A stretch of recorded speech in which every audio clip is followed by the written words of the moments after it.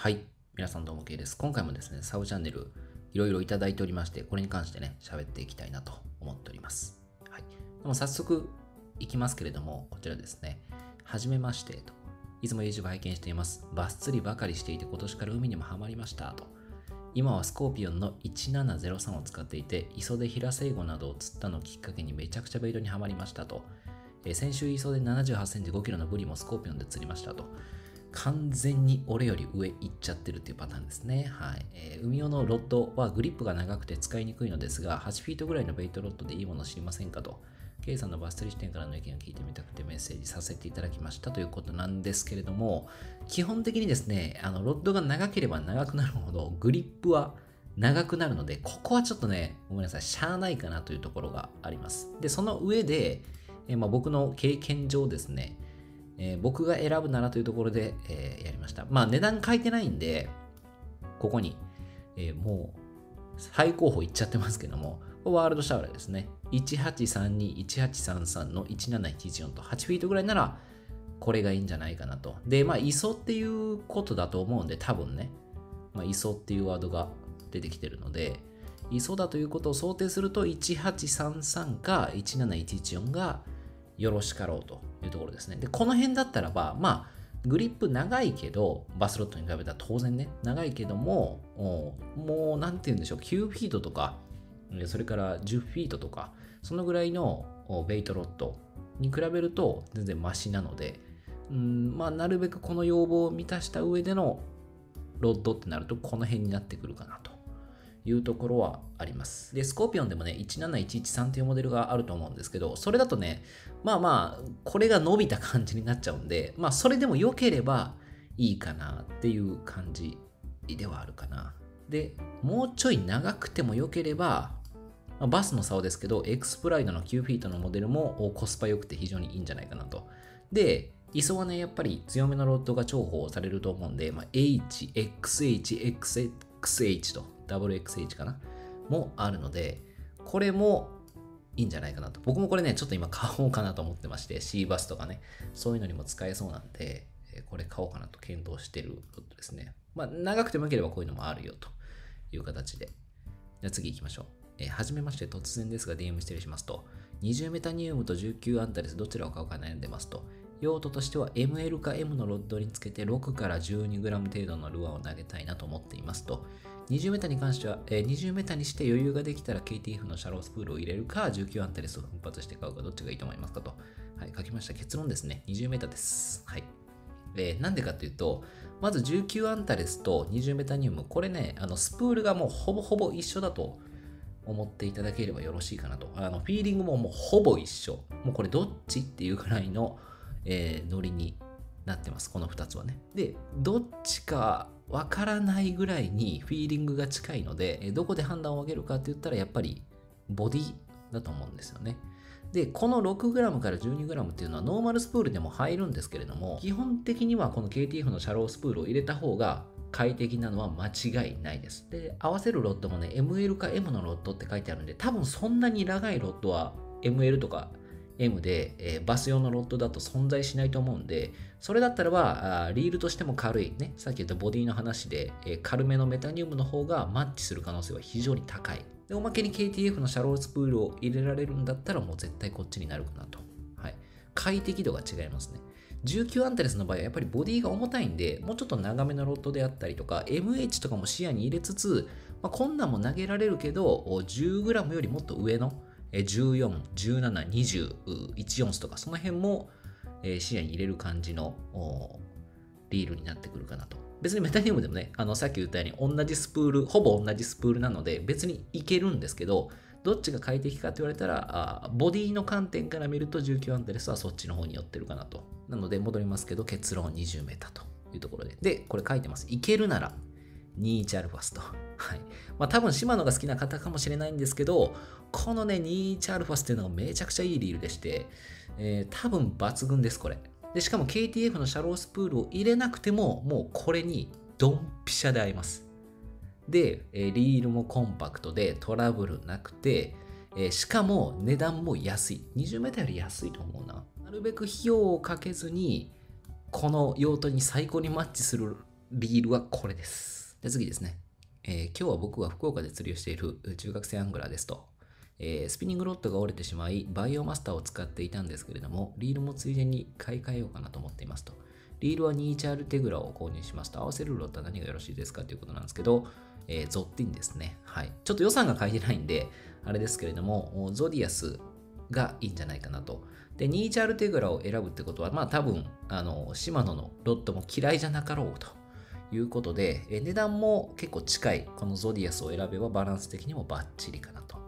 で、まあ多分ね、えー中学生のアングラーということで、そんなにこう何本もロッドは持ってないということを想定に入れると、L で、えいろんなルアーを使えるようにしておいた方がよろしいかなということで、えーゾッティンの L ということを書いておきました。まあ長さはね、好きに選んでいただければなと。はい、次ですね。はじめましてと。えーこちらに質問すれば動画に取り上げていただけるというの噂を聞いたので質問失礼しますと、えーありがとうございます。でも結構前のやつなんでね、ちょっともしかしたらもう解決してるかもしれないですけれども、えー、K さんのおかげで無駄にリールを所有していますと、ありがとうございますと。本題ですが、16アンタレス DC と21アンタレス DC の P ラインでの使用感の比較を教えていただきたいですと。飛距離、トラブル劣勢、えー加減ルアーのウェイトですね。16アンタレス DC は海水対応ではないので PE ラインを巻く人は少ないかもしれませんが私の周りのどでかいトラウトを、えー湖で狙っている人では19アンタレス DC ユーザーが多い印象ですと。あなるほどね。確かにそういう需要もあるのか。で、えーこちらに書きました、えー実はですねえーこの16アンタレス DC に PE を巻いてここのね21アンタレス DC との比較動画を、えー撮ってメインチャンネルでこの2チャンタレス DC のレビューを入れた時に入れ込もうかと思ったんですけど、まあ、あまりにも取れ高がなくて、えーまあ、ここは違うか、みたいなのが、フロロとほぼ一緒だったんですよね。なんで、もう別にこれの使用感だけでいいかと思って、えーカットしたんですけど、一応試しました。で、その結果がこちらです。はい。あの、フロロとそんなに変わんないです、あの印象は。あの、この差の印象ね。えー投げた時の印象じゃなくて、16アンタレス DC と21アンタレス DC の差の印象が、性能差ね、性能差の印象がフロロを使ってた時とほぼ変わらず。飛距離、わずかに21の方が飛んでるかなっていう印象。まあ、目測ですんで、ちょっと当てにならない分はあるんですけど、まあまあ、ほぼ間違いなくこっちの方が飛んでると思います。もうわかるぐらいです。これね。で、トラブル劣勢、多分21って書いてます。はい。これなんでかっていうと、両方トラブらなかったからですね。とりあえずテストで使った感じでは、あの、両方トラブルはなかったです。環境としては PE の2号を巻いて、えーリーダーが16ポンドでやってましたけども、両方とも問題なし。だからトラブル劣勢で1621にするっていうところで言うとちょっと違うのかなと。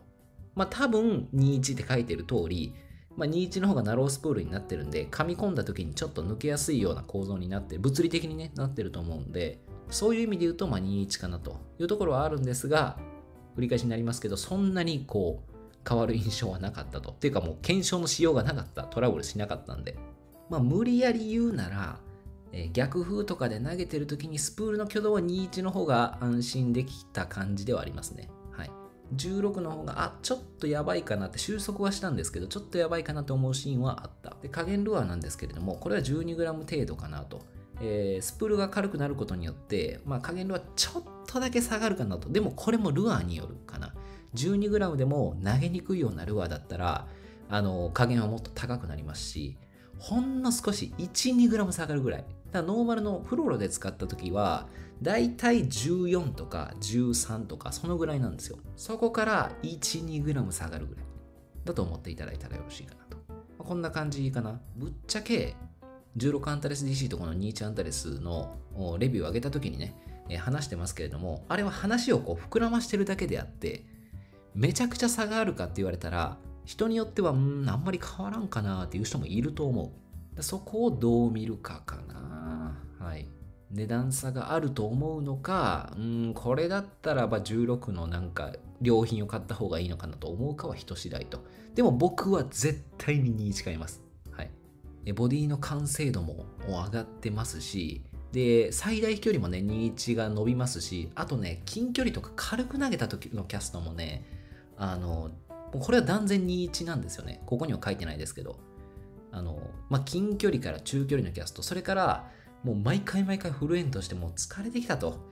いう時にピュッと投げたキャストでもスプールが回りやすいんで飛距離稼いでくれます。はい。そういう意味で、えー、この21は全然いいです。最大飛距離はわずかなんですけど、実は隠れた違いがそこにあると。これはまあナロースプールのおかげかな。MGL3 ね。ナロースプールでニクースになってるおかげで変わってるかなというところですね。はい、次ですね。K さんはじめまして。いつも YouTube 楽しく拝見させていただいておりますと。えー、K さんの動画は映像が綺麗で見ていて気持ちいいので DC4 ぐらい大好きですと。私事ですが、6月半ばに会社から1ヶ月の休みをいただけるそうなので、ピアコデビューしたく考えておりますと。めちゃくちゃいい会社。はい。めちゃくちゃいい会社。夏休み？すごいな。しかし、琵琶湖に対する知識が全くないので、K さんのおすすめおかっぱりポイントをご教示いただけませんでしょうかと、ご返信いただけるとご自に思いますということなんですけれども、まあ、ちょっとね、具体的なポイント名はあの僕の動画では出してなくて申し訳ないんですけど、ちょっとおすすめの回り方を、えー、お教えしておきます。琵琶湖マップっていうのが売ってるんですね。北湖何個版っていうの。これを早急に買ってください。はい。で、それをとりあえずこの6月半ばまでにもう、え、この人もずっとこの本読んでないっていうぐらいに熟読しといてください。はい。あの、結局ね、琵琶湖もね、広いんで、パターンがコロッコロコロッコロ変わるんですよね。事前にどれだけリサーチしてるかでえ決まるので、えここにこういうものがあるとかは結構これに載ってるので、どこを狙いたいか、もう事前にある程度目星をつけておくと。で、ここに書いてるんですけど、狙う場所を絞る。まあ、この本でね、あ、この辺良さそうだなっていうのを回りたいなっていうのをリサーチしておきます。で、狙う場所を絞った上で広く移動しないと、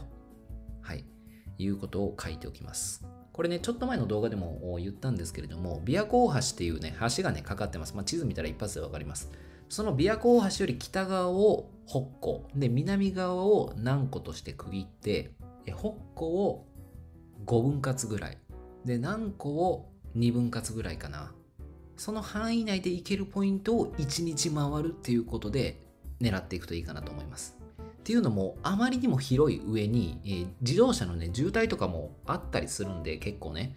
えー、それに引っかかるともうね移動の1日だったなっていうね、えー、日が結構多くなっちゃいます。なので徹底的に、え狙うエリアを絞ります。例えばですね、北湖は広いんで、まあ、大体5分割にします。えー、東側2つ、西側2つ、で、一番北が1つみたいな感じで分けます。で、今日は西側の、まあ、上の方をちょっと回ってみる。で、今日は西側の